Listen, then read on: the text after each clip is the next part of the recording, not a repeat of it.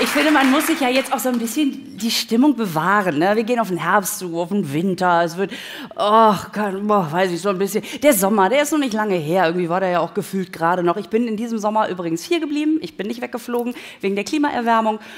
Ja, meine Kinder sofort, oh Mann, fliegen wir jetzt nie wieder in Urlaub? Ich sage, dann natürlich, aber halt im Herbst.